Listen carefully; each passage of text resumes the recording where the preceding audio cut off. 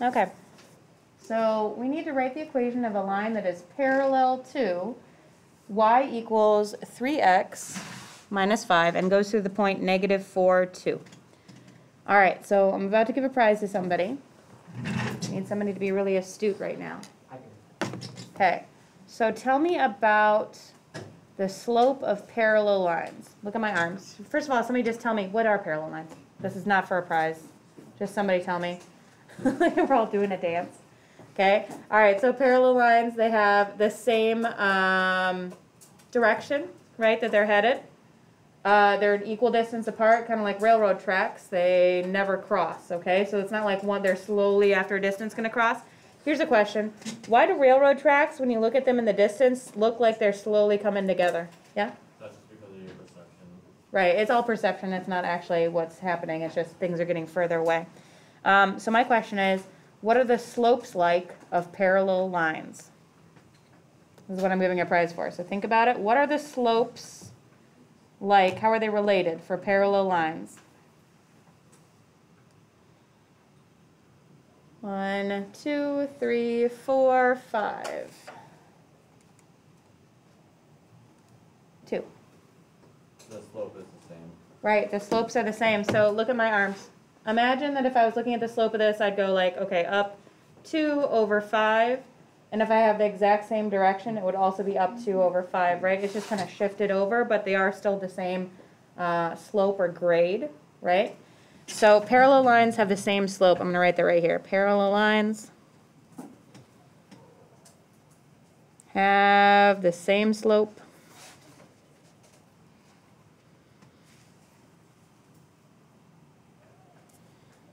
So our first step is figuring out what our new slope is going to be. It's parallel to y equals 3x minus 5. So what's the slope of the new parallel line? This is the old one. What's the slope of the new one, Dylan? It's the same thing, but it's not going to have the same y-intercept, right? Because they're going to cross at different spots. So the first thing is um, find the slope by looking at the original line and copying the slope. Because it's exactly the same if they are parallel lines. So for number one, I'm just going to write m equals 3. I know the slope is 3.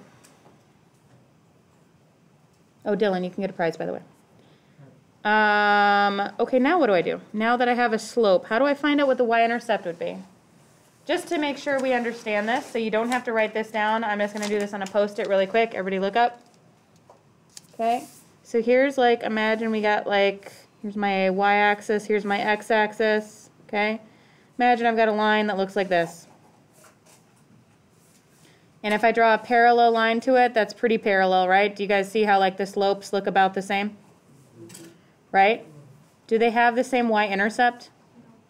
No, okay, so the b's aren't going to be the same. If you write the m and the b is the same, it's just the same line. So the m's are the same, but the b's are different, so we gotta find out what the b is now. How do we do that? Hopefully you guys are good at this at this point. If you have a slope and you have a point, how do you find out what b is? Renee? You have to put the point in for y. Yep, so y equals, I've got 3x plus b. And then you're saying that I should put in x as negative 4 and y as 2. So plug the point in, the xy point, for x and y to find b.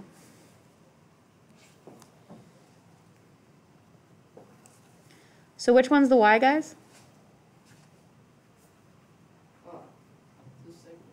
Two, yep. And this would be three times negative four plus b. I've had people ask me before, they've said, how do you know, look up, how do you know whether to put that negative four over one or just leave it as negative four? What do you guys think? Should we leave it as negative four right now or put it over one? Sawyer? Leave it because it's, there's no fraction. Right, if the three had been a fraction, then it would have been helpful to have the other one as a fraction, but there's no reason to do it for this one. So this is two equals negative twelve plus b, how do I get b by itself? Renee? Um, plus twelve. Add twelve, add twelve, that's fourteen equals b. Okay, so now I've got my m, and I've got my b. So what's step? I guess this was, I made it step two and three, didn't I? All right, I'll make step three, find b. All right, step four.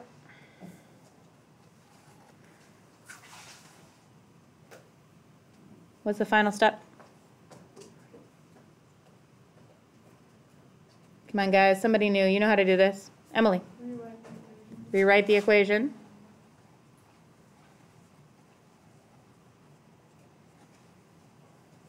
With numbers for x, or for m and b. So my final answer is y equals uh, 3x plus 14.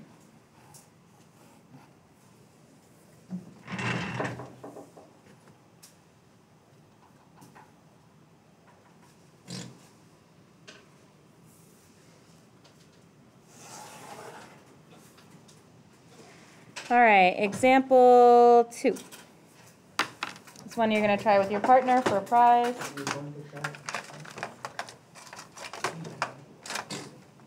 Hmm.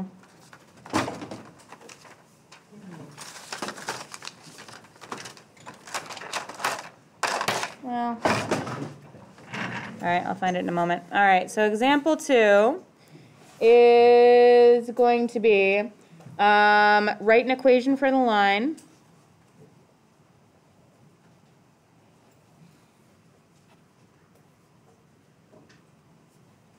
That is parallel to um, y equals 3 fourths x plus 2 and goes through the point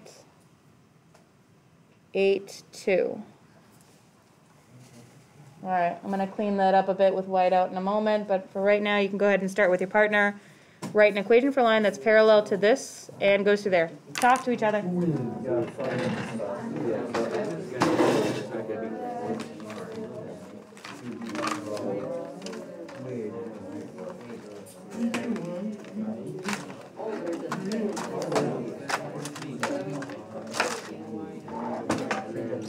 Y is going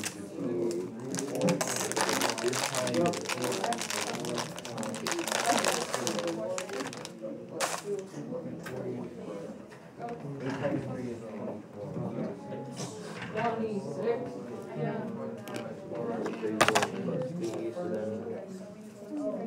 Are we gonna add or subtract? Our method is being down. So are we gonna add or subtract with this? Uh, you multiply by. I'm done, I'm good with this.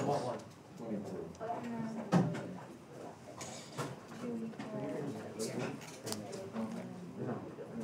And what is that equal? Well, Want me to grab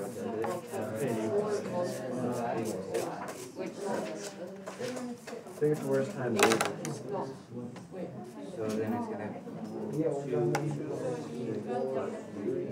Four. are we gonna add or subtract the six? Subtract it both sides.